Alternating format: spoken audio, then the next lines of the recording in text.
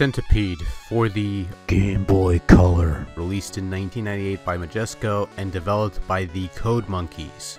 So for those who have never played Centipede or any of its 500 incarnations, you control a blaster and you have to kill the centipede, all the while clearing away mushroom trees, spiders, and other critters looking to impede your progress. For all intents and purposes, your main goal is clearing away the segments of the centipede, upon which another will appear, this one quicker than before, and possibly more segmented as you progress onwards. Among your available options are 4 skill levels, and the ability to play a one player or two player alternating game in which two people share the same Game Boy. Though if you have a game link and a second pair of game and unit on hand, you and a buddy can also partake into two player competitive and cooperative modes, similar to what you would find on the old Atari 7800 version, which I recommend you check out by the way.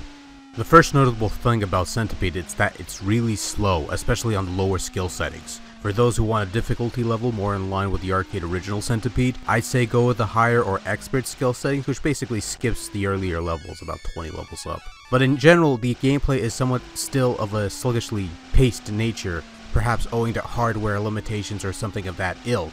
I don't know, I'm having flashbacks of that classic arcades thing for the Genesis where there's a version of Centipede that played in molasses. Although I'm not going to lay much fault here because it's on a handheld, it's somewhat underpowered, and I guess this could have been intentional as to reduce the possibility of blurring on an actual Game Boy screen, or maybe just screwed up or something, I don't know. What I do know is that despite being on the sluggish side of things, Centipede plays and controls pretty good for the most part. Your blaster is a bit on the slippery side of things, but never to the point where it becomes uncontrollable. Gameplay is the same tried and tested gameplay that's featured in many other versions of the classic Centipede. There's nothing out of the ordinary to be found here. Suffice it to say, if you played Centipede anywhere else, you've played it here. The only thing that you generally need to adapt to is the generally slower pace of the game. Again, that's only a minor thing, and if you're that put off by the sluggish nature of this particular version, then you're not going to be sticking with this particular version anyway, so... Centipede does a fairly good job of replicating the arcade visuals well enough. Everything is instantly recognizable, the mushroom trees, the spiders, the centipedes itself, the various critters. They all look pretty decent on the tiny Game Boy screen and at a rather decent pace, considering the overall slowness of the thing.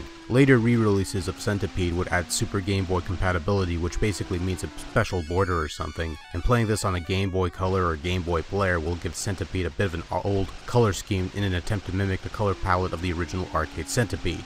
It doesn't really work, but the effort's appreciated I suppose. Sound-wise, Centipede sounds pretty irritating, even by Game Boy standards. There's an attempt to mimic the arcade original sounds, but it comes off rather poorly.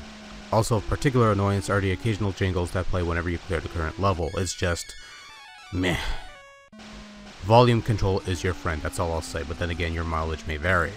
Centipede is an enjoyable yet challenging arcade shooter, easy to pick up, simple to understand, and yet difficult to conquer. In regards to this Game Boy conversion, however, it's a little less so, as the overall sluggish nature of the game makes it a little less of a challenge than other home conversions. Like I said before, you really need to play this on the higher difficulty settings in order to get any semblance of true challenge here, and even then, it never gets that truly intense. If you can get past this particular hurdle, however, then Centipede can be a good time had by all. It's not the best version of the game out there, but it is good enough for a quick round or two.